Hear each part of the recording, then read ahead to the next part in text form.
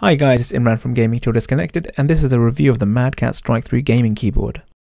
Priced at £90 for the UK and $100 for the US, the Strike 3 is an entry-level gaming keyboard for the PC and the newest member to join the Mad Catz Strike range, offering a unique membrane keyboard designed to offer the full tactical feedback of mechanical keys but without the excessive noise, or the need to bottom out keys.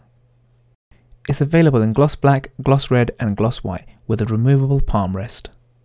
The design is almost identical to its older siblings in the Strike range, however the Strike 3 doesn't have the control module seen in the Strike 5 or the Strike 7, or the extra function strips on the left hand side of the keyboard. Unlike the other Strike keyboards, the Strike 3 features a handle which is useful in theory, but I couldn't fit my fingers through the hole or get a comfortable grip, so I just ended up pinching it. The handle also feels like the weakest point in otherwise a sturdy keyboard, but to be honest, unless you're constantly moving from one location to another, you'll hardly ever touch it.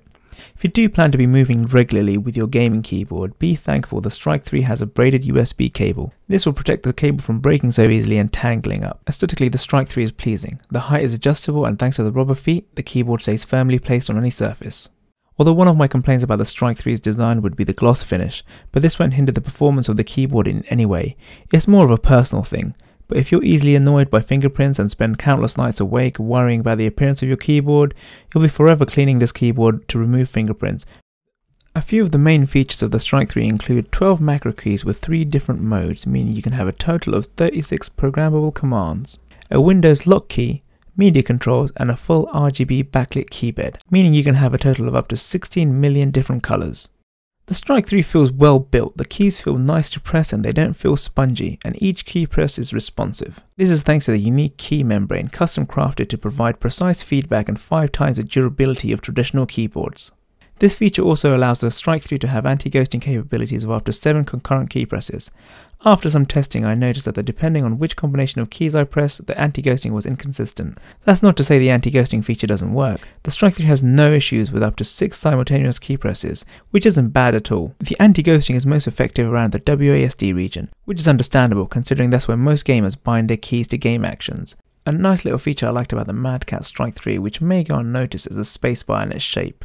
It has a lip which is cut off about a third of the way from the left. This may seem trivial, but this stops accidental key presses, and I could rest my thumb where the lip was cut off. And due to the lip, I didn't have to reach as high to get to the spacebar. I know that sounds extremely lazy, but 5 hours of Black Ops 2 can really take it out of you. The Strike 3 isn't a mechanical keyboard, which means that you don't have to worry about being too audible and unless you're clubbing away at it with hammers, you can expect it to be moderately muted. I'm not saying it's completely silent, but you're not going to be waking anyone up if you're using the Strike 3 in the early hours of the morning. Speaking of playing into the early hours of the morning, you'll be grateful the Strike 3 has a full RGB backlit keyboard and the seemingly infinite color options. Changing the color of the keyboard is easily done with the Mad Catz Strike 3 software, with the option of a pop-up color picker or the option to independently change the red, green and blue with sliders. The backlighting is consistent and from what I can tell there doesn't seem to be any weaknesses in light. The colour of the keyboard lighting also indicates which of the three modes you're in, and cycling between the three modes is easy as pressing a button. Unfortunately the backlight for the mode button and the 7 macro keys located next to the mode buttons don't change to match the rest of the keyboard. The only time the mode button will match the keyboard is if you choose not to change the default backlighting colours, which are red, blue and pink, but this can be easily ignored, or it may eat away at you from the inside. It just falls down to personal preference. The Strike 3 also features a toggle to lock the Windows key. This is incredibly helpful to stop those accidental presses of the Windows key, and if this has ever happened to you then I'm sure you can understand how unbelievably frustrating it can be. I just wish the toggle itself wasn't so stiff.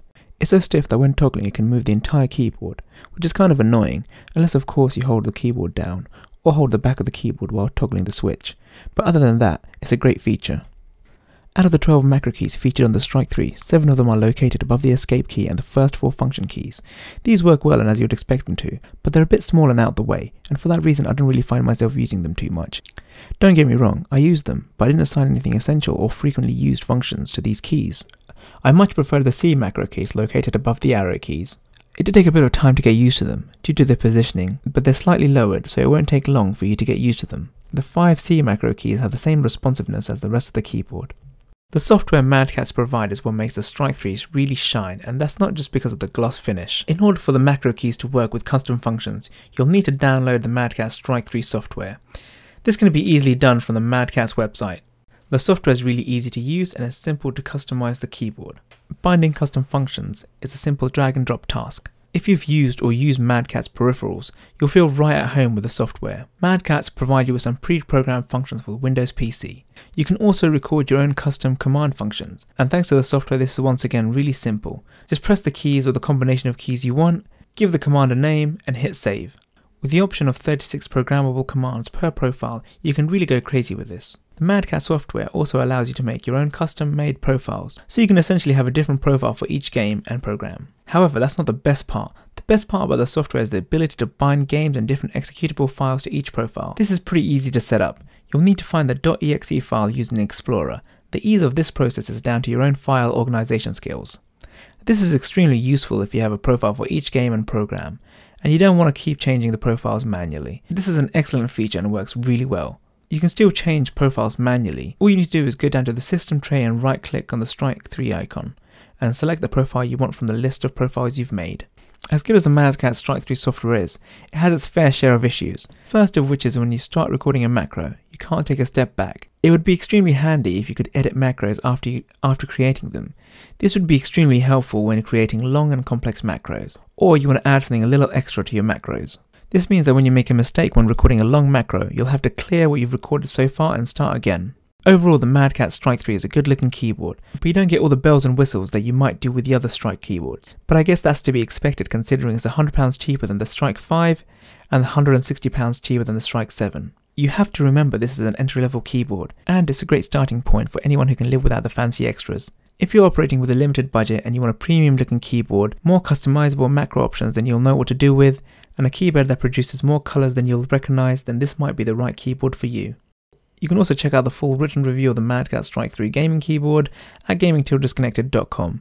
The link's also in the description. If you like this review then please make sure you click the like button and be sure to subscribe to us for more tech reviews.